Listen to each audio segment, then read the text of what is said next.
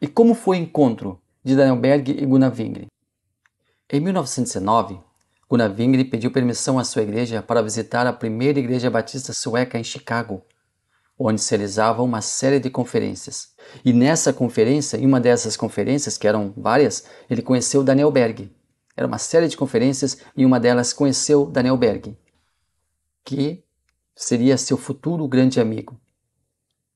Essas conferências eram frequentadas por jovens de diversas denominações e eram muito comuns nos Estados Unidos, que estavam já experimentando um reavivamento espiritual que iniciou lá na Rua Azusa, com Seymour, lá na Rua Azusa e se espalhou por Chicago, que foi também um foco muito grande, muito propulsor do avivamento. E foi ali em Chicago que Daniel Berg e Gunnar Wingren receberam o batismo com o Espírito Santo.